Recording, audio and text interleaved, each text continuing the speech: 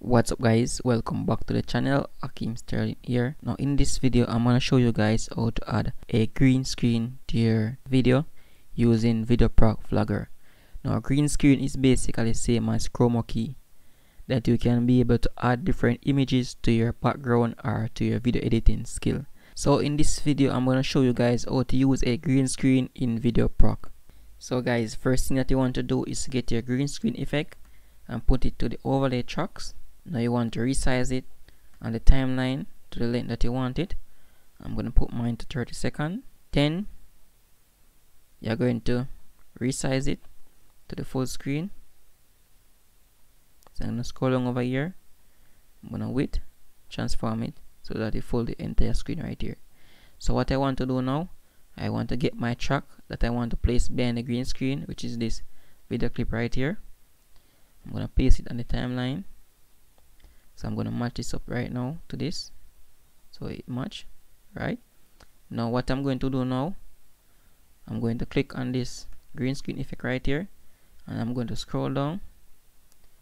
And where you see chroma key right here green screen I'm going to click on enable.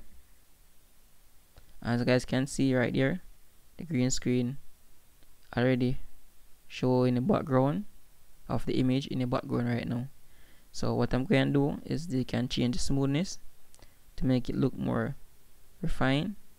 So you can tweak this and adjust it. And you can tweak also the tolerance to let it show very clear now once you added your background image to the green screen right here what you want to do is to lock it. So as you can see I lock it right here so that this position of image don't move so what I want to do now is click on this background image right here. And I'm going to reposition it to let it fill in the green screen effect.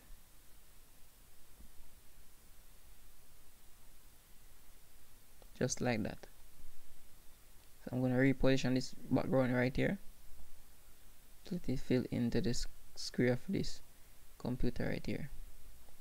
So guys as you can see when I play this now you guys see it being played using the green screen in the background. And that basically guys how you enable green screen using VideoProc vloggers.